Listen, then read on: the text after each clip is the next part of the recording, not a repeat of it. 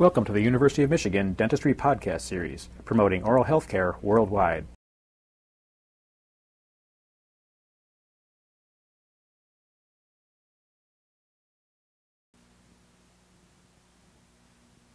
Mr. Vaughn is a patient here at the School of Dentistry who has just had some dentures prepared for him.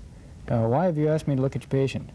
Mr. Vaughn presented himself to me in February of 1972 uh, requesting a new pair of dentures. On his old dentures, the first molar and the second bicuspid were missing. And on the right buccal mucosa, he had a diffuse patch of leukoplakia.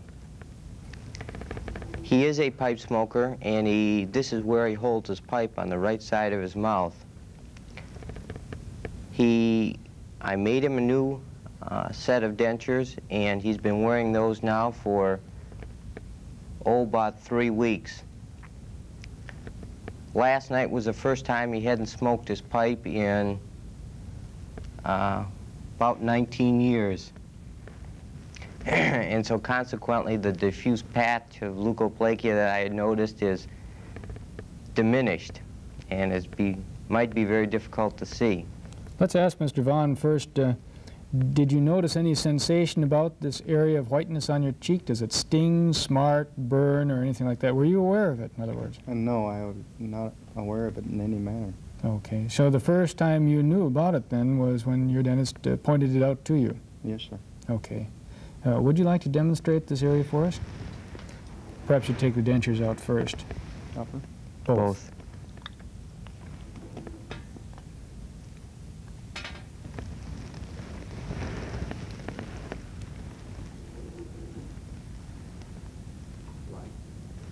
Let's come right on in to the mandibular ridge close-up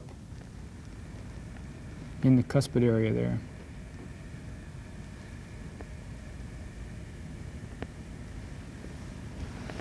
Let's see, let's bring it down just a little bit, open a little wider. That's the ticket.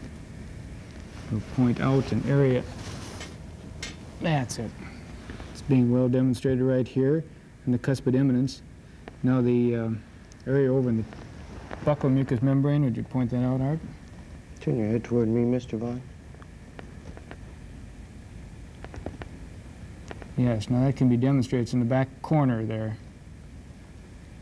Can you point to it and outline that? Let's see if I can get around here.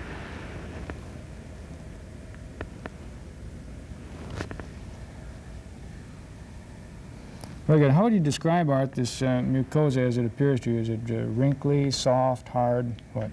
It's got a blue hue to it.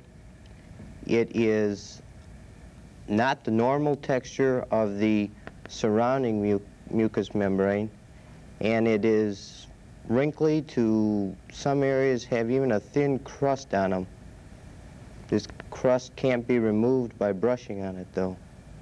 So that's how you distinguish uh, candidiasis, for example. It won't come off. Did you check his hands and uh, face and so on for lichen planus? Yes, I did, and there were a few marks, but they were uh,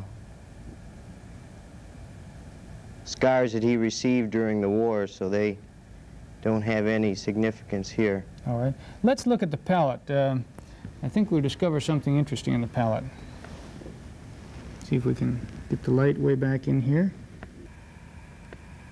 You'll notice on the palate several little uh, small pinpoint dots. They're sort of to the center of the field now with the light right on them. These are the orifices of minor salivary glands. And you'll notice the halo of white that surrounds them, and uh, there's a rather diffuse white coat over this palate. What do you think we're looking at? What would be the diagnosis of this situation? I don't know. Okay, this is uh, nicotinic stomatitis, and it's uh, best seen on the palate.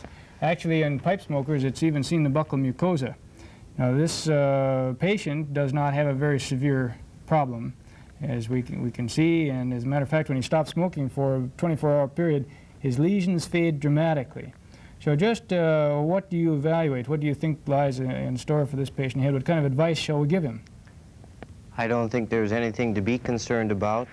It's uh, something that apparently without the pipe, it it is disappearing, and if we could get Mr. Vaughn to stay off the pipe for a little bit longer, we may, uh, his next appointment, may not see it at all. That's a good evaluation. I think we'd have to say that uh, the pipe smoking has produced a lesion in this patient. It's taken him 20 years and the lesion looks like it does today. And the fact that he can stop smoking for 24 hours and have them fade remarkably is uh, strongly in his favor. I think counseling to cease smoking is good advice, but I would say that at this point we should schedule him for an appointment maybe six months to a year from now and reevaluate the lesion at that time. You've been listening to a presentation from the University of Michigan School of Dentistry, which is dedicated to supporting open learning and open educational resources. This recording is licensed under the Creative Commons. It may be reused and redistributed for nonprofit use. Please attribute materials to the University of Michigan School of Dentistry and redistribute under this same license.